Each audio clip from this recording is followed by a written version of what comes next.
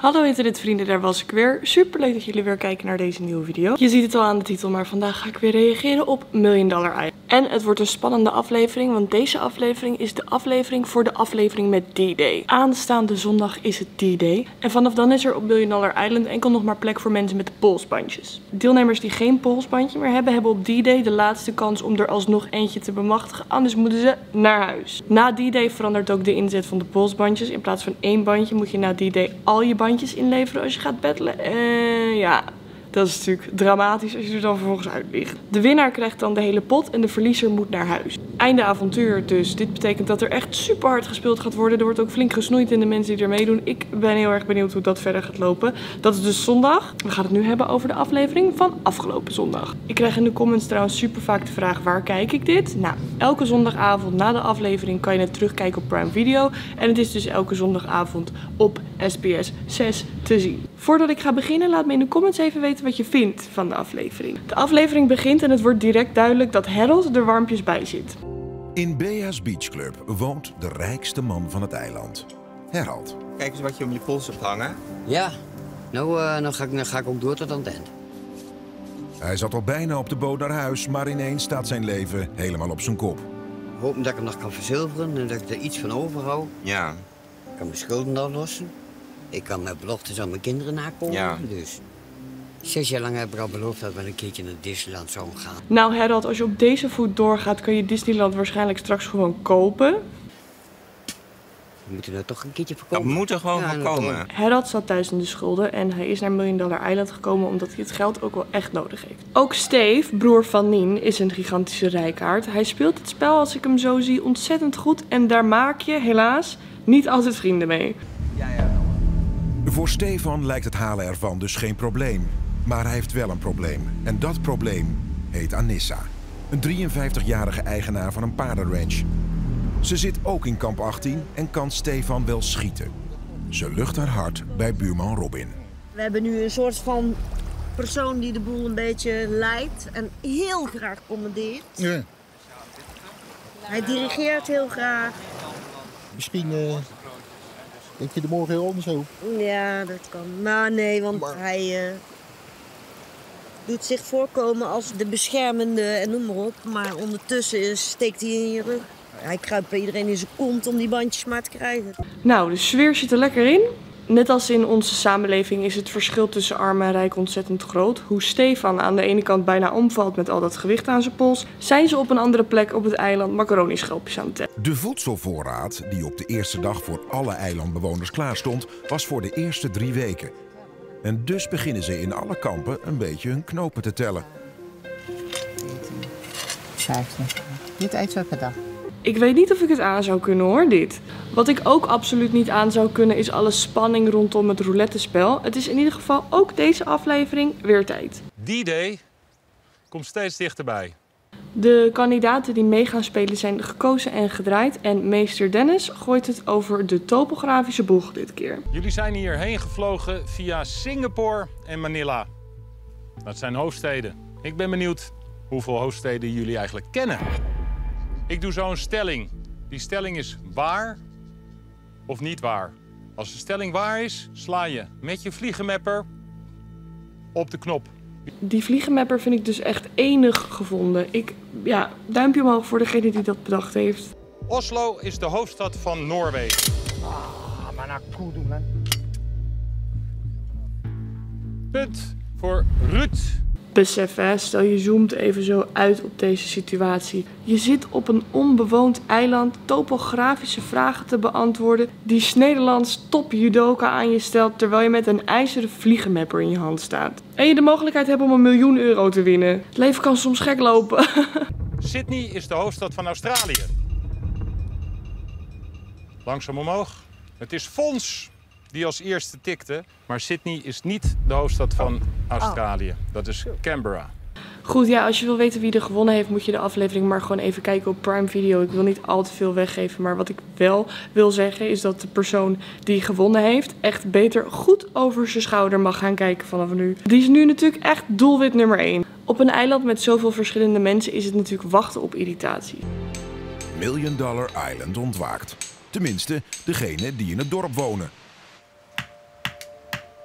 In dit geval is de boosdoener Ruud. Die gaat namelijk even een huis bouwen het moment dat de zon opkomt. De boosdoener is Ruud, die op het idee gekomen is om rond kwart voor zes de voorraad brandhout aan te vullen.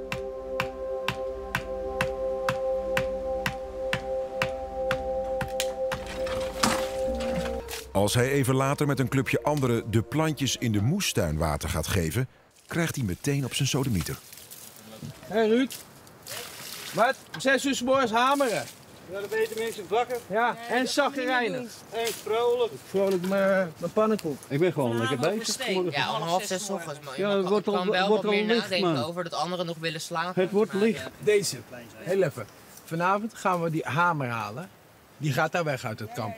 Gewoon elke morgen hetzelfde liedje. Als die opstaat, gaat hij op een ijzeren bal lopen mikken. Ik ben echt strontzagrijnig. Ja. Je gaat toch ook niet om tien uur s'avonds langs zijn hoofd staan timmeren? Ik vind het gewoon aso. Ook dat harde gepraat 's morgens. Je moet gewoon je muil houden. Eens, gewoon je mijl houden. Voordat je op je hoofd getimmerd wordt. Nog meer gezeik. Ook Bea heeft een relatiecrisis. Wie altijd vroeg wakker is, is Bea. Ze keert terug van haar ochtendwandeling. Zonder Herald dit keer. En dat heeft een reden. Je hebt wel begrepen waarom ik niet op je gewacht heb. Nee, Heb je dat niet begrepen? nee, waarom? Je sliep te lang. Ja, ik heb de hele nacht lopen waken op jou. Ik was best te bang dat jij weer zat te struien. Oké, luister lieve schat. Ja, ik kan er niks aan doen, schat. Ja, gaan we daar nog één keer over hebben. Oh. Ik loop s'nachts van mijn plekje, mijn slaapplaatsje, naar het hekje. Daar ga ik een plasje doen en dan loop ik weer terug. Als ik weer wakker word, loop ik misschien naar de zee. Ga ik in de branding zitten omdat ik het heet heb, benauwd heb. Laat ik wat water over me heen stromen. Maar ik ga niet zwemmen in de oceaan. Maar ik zit er wel. Maar daar kan niks mee gebeuren naar mijn mening. Nee, nee. Dus probeer dat voor jouzelf tot een minimum te beperken. Dat je je zorgen maakt om mij. Ja, tuurlijk. Want als, je mag je zorgen maken, maar niet zo heel erg. Ik zal echt, echt, echt geen dingen doen die voor mij gevaar opleveren. Alleen, Oh, Herald, beetje controlling hoor. alleen.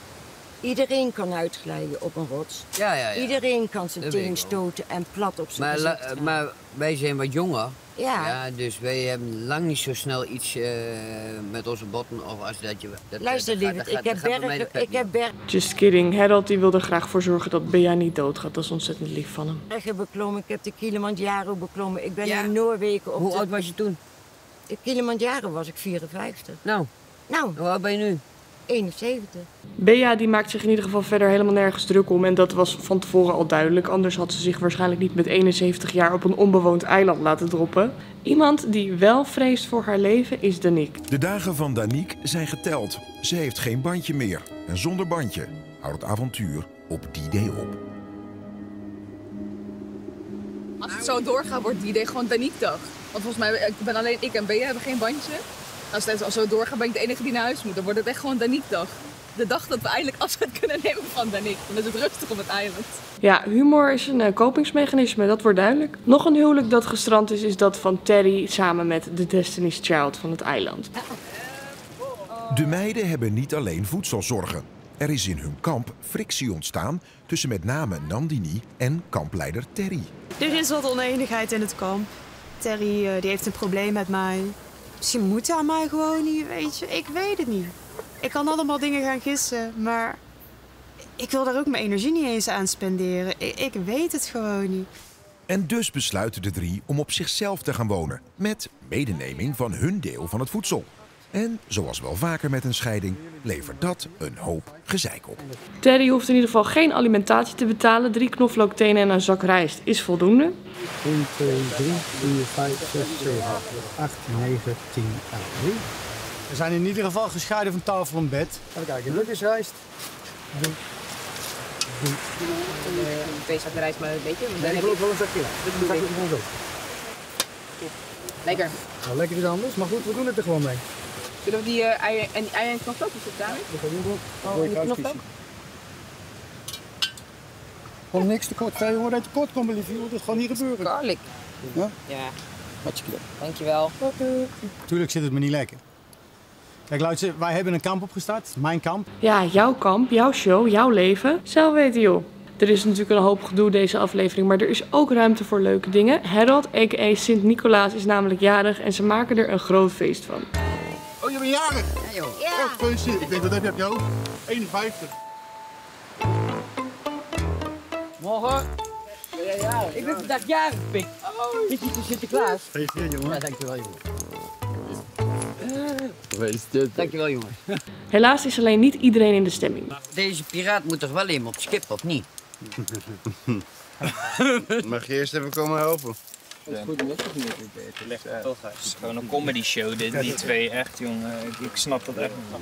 Je bent verdomme 52 geworden. Ik zie mijn vader al zo rondlopen hier zo op dat eiland. Nou, eh, ik zou hem vierkant uitlachen. Ik vind dit dus best wel naar. Waarom roepen mensen die lol hebben en zichzelf zijn zoveel frustratie bij je op, vraag ik me dan af. En waarom zou je iemand in vredesnaam uitlachen als iemand comfortabel is om zichzelf te zijn? Dan denk ik dat je echt even naar jezelf moet kijken. Want dit probleem ligt echt niet bij de ander namelijk. De scheiding van de meiden en...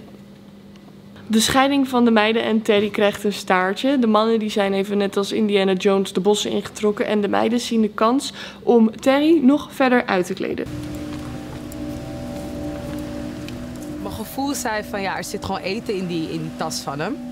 En dan als mijn gevoel dat zegt, ja, dan wil ik het gewoon eh, ondervinden. En ze hebben beet. Pasta. Rijst. Pak het allemaal. Nee, nee, doe het gewoon weer terug. Doe het gewoon weer terug.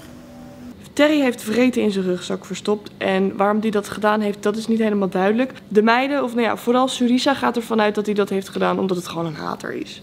Het eh, meesterplan liep niet helemaal soepeltjes af, want de meiden werden betrapt en gesnitcht. Over de verstopte zakjes in zijn tas heeft Terry het niet. En dus besluit Noemia er maar eens voorzichtig naar te informeren. En je had toch ook een, pasta, een zak pasta en een zak rijst apart gelegd? Of is die, eh, was, had ik dat verkeerd begrepen? Terry heeft in ieder geval een duidelijke uitleg voor het verstoppen van het eten. Nee, die zak pasta en een zak rijst, die klopt, die heb ik ook. Ja. Maar dat is voor de hele stille dagen, als we echt helemaal niks hadden. En Maar dat is, wat- dat is niet de laatste dag uit die kist gegaan, dat is al een tijdje terug gebeurd.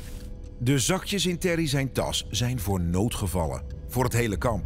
Dat wist blijkbaar iedereen, behalve de meiden. Ja, goed verhaal. Geloven we het? Nee, natuurlijk niet. Ik eh, vind het een hele moralistische uitleg voor een iets minder moralistische actie. Anderzijds eh, had ik misschien wel hetzelfde gedaan. Zo gier ben ik nou ook wel weer. Goed, ja, ik zei het net al, maar binnenkort wordt het dus weer D-Day. En het roulette-spel wordt daarom extra spannend dit keer. Mensen zijn namelijk best wel huiverig om hun bandje in te zetten. Want als ze dat doen en ze raken hem kwijt, moeten ze naar huis. Goed, zoals ik al zei, moeten jullie het zelf maar eventjes gaan kijken. Je kan het terugkijken op Prime Video. Kijk ook zondag, want dan zit ik in de aftertalk. Laat in de comments even weten wat je ervan vond. En dan zie ik jullie natuurlijk weer volgende keer. Adieu!